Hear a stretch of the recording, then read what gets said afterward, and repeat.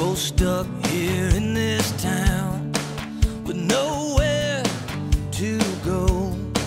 So you escape through the radio and you work how weak to barely make ends meet.